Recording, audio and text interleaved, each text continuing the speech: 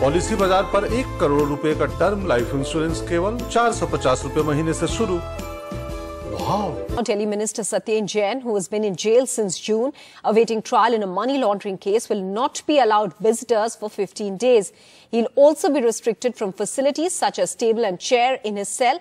This as per sources. Now, the move was triggered by the recommendations of a committee formed by the Delhi Lieutenant Governor V.K. Saxena. The committee was formed following leaks of CCTV videos that showed Satyen Jain receiving massages and getting visitors inside the jail cell.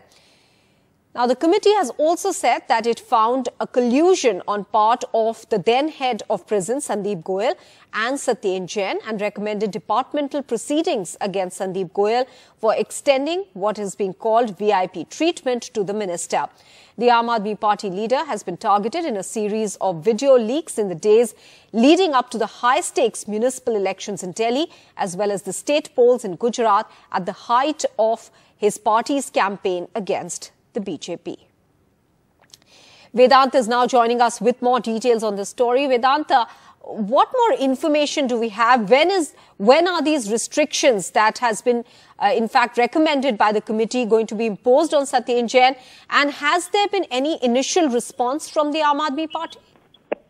Uh, well, Maha, the Party continues to say that, uh, you know, this is political vendetta and that, uh, you know, it has earlier also said uh, that, you know, home cooked meals um, and, uh, uh, you know, home cooked meals were cleared by doctors and the massage videos that had allegedly been leaked from the Tihar jail were in fact physiotherapy and that was something that was approved by the doctors. That is what the Aam Party continues to say. Now, this decision to suspend, um, you know, suspend all the facilities that you were enlisting. This decision was taken a couple of days back, and for the next 15 days, he will not be allowed uh, to meet any of his family members as well. Remember, there were allegations that he had flouted jail norms by meeting his uh, family members, enjoying their company for uh, more than permissible hours. That was the allegation. And in fact, um, this committee, which was constituted by Delhi Lieutenant Governor V.K. Saxena, has also recommended that, uh, you know, they return to the kind of uh, meals that were given to him